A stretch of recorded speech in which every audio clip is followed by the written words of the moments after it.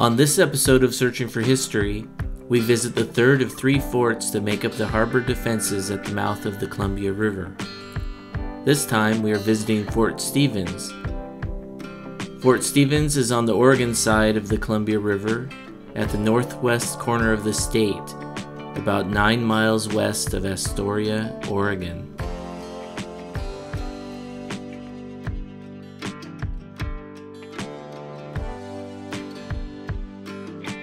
Fort Stevens was the largest and primary fort of the Triangle of Fire.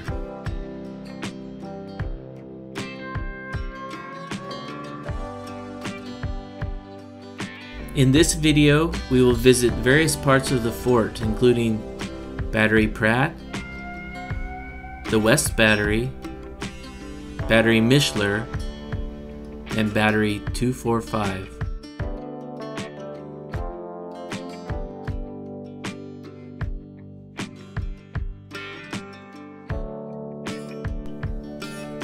Fort Stevens was built near the end of the American Civil War and was named after former Washington Territorial Governor and Civil War General Isaac Stevens.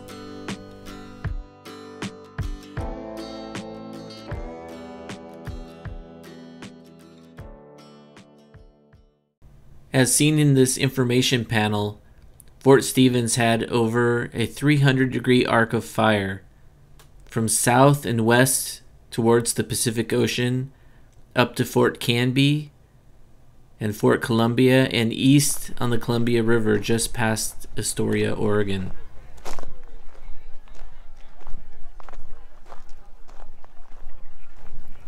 We are now approaching Battery Pratt.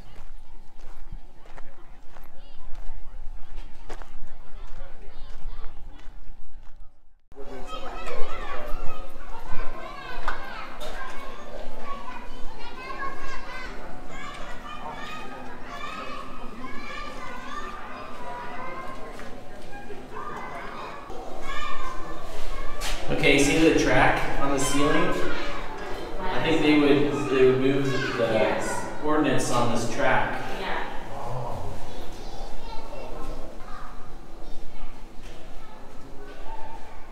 Can't see it all. So it must have hang, hung from each track, so there was two. Right. Like a calipers, I. Yeah.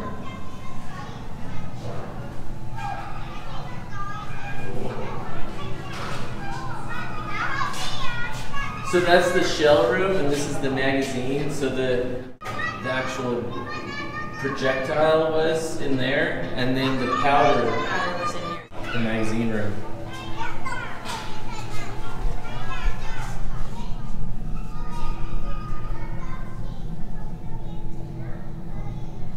So what you see in there is the magazine room.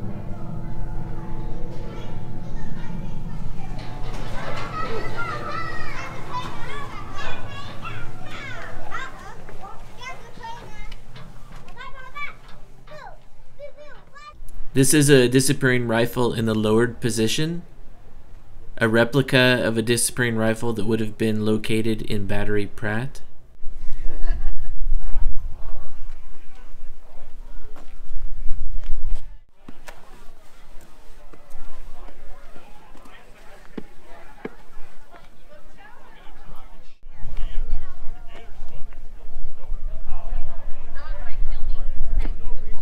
Yep, grab there.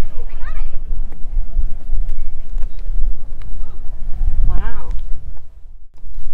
We are now approaching Battery West, which was a four gun battery.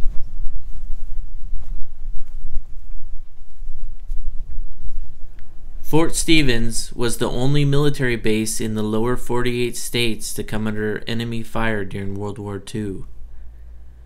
On the night of June 21st, 1942, a Japanese submarine, I 25, surfaced off the coast of Fort Stevens and fired 17 shells from its deck gun. The shelling was ineffective and caused no damage. In order to not reveal the exact locations of the fort's guns, Fort Stevens did not return fire.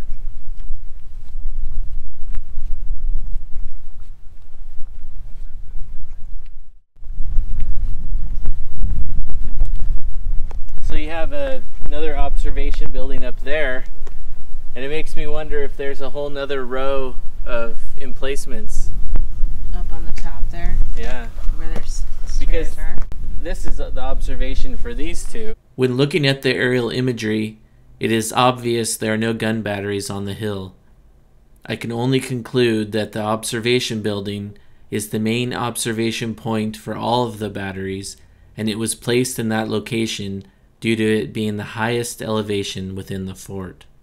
We are now approaching Battery Mishler. Yeah, well, because the tunnel came here, so this is all. Everything below us is bunker. At the beginning of World War II, Battery Mishler's two gun emplacements were covered with timbers, earth, and sod to camouflage the battery. At that time, Battery Mishler became the Harbor Defense Command Post for controlling the defense of the mouth of the Columbia River.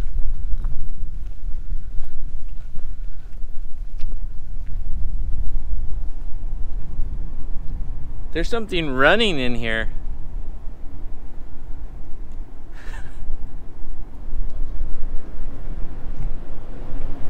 Yeah, we can hear a, a motor running.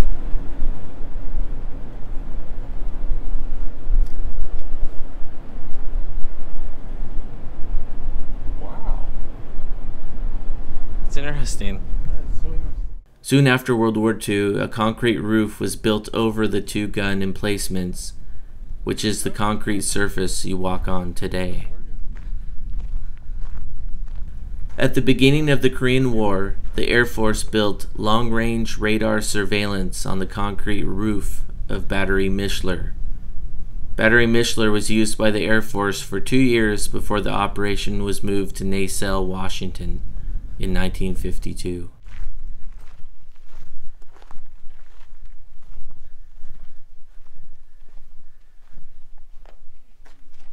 So behind me here is the original entrance to battery 245.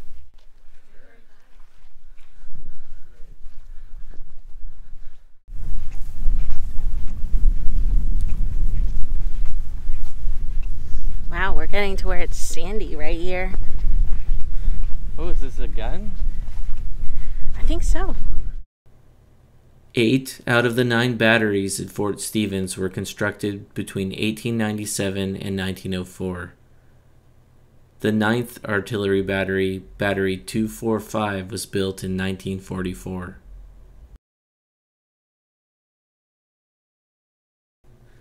Battery 245 is one of three World War II artillery batteries built to create a triangle of fire to protect the entrance to the Columbia River. Battery 245 at Fort Stevens, Battery 246 at Fort Columbia, and Battery 247 at Fort Canby. The battery had two 6 inch guns, and between the guns was a reinforced concrete bunker housing control mechanisms, a power generator, plotting rooms, a radio room, shell magazines, a latrine, etc. The battery was also designed to be gas proof in case of chemical attack. To the south of Battery 245, there is an interesting looking bunker. This bunker has no gun emplacements, but there is a concrete trench, almost like a slit trench. This is pure speculation, but I wonder if this could be an anti infantry bunker where men could pour out of the bunker and line up along the concrete wall. If this is the case, the bunker is in a perfect position to protect the left flank of the row of artillery batteries from a ground attack. Please leave a comment if you know the purpose of this bunker.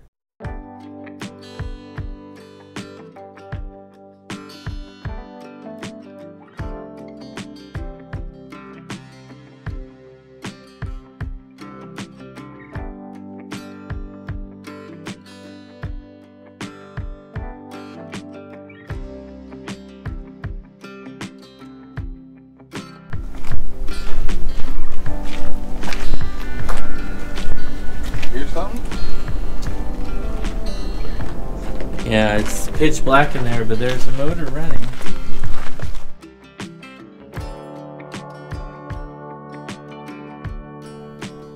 The fort was active from 1863 to 1947 and is now an Oregon State Park. Let's take a quick look inside the fort's steam plant.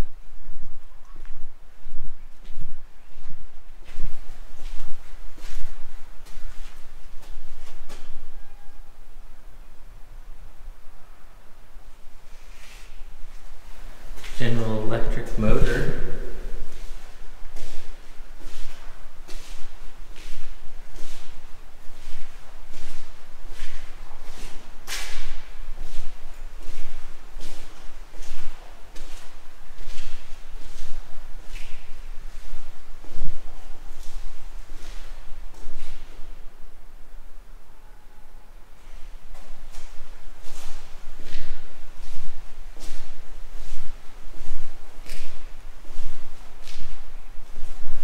Looks like these may have been spots where other motors were mounted.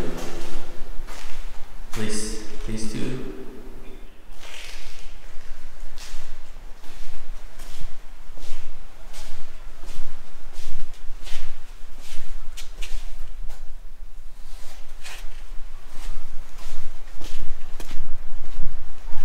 The landward side of the fort has a large field with a dozen or more concrete foundations. Each foundation has an adjacent chimney. Apparently, the wooden structure is missing.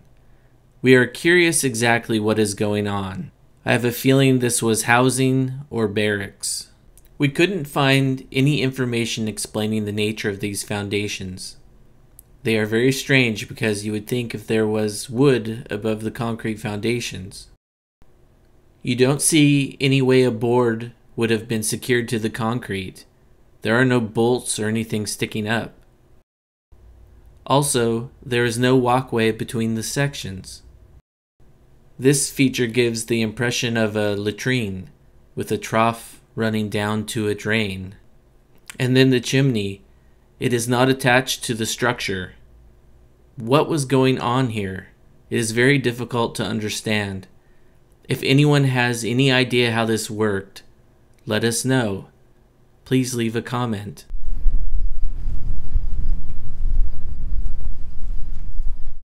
These two cannons here are 10 inch Rodman smoothbore cannons. These are replicas of the coastal defense cannons that would have been at the fort in 1867 to the 1890s. The fort was first constructed from 1863 to 64 as an earthwork battery, which you can see here. It was officially named Fort Stevens in 1865.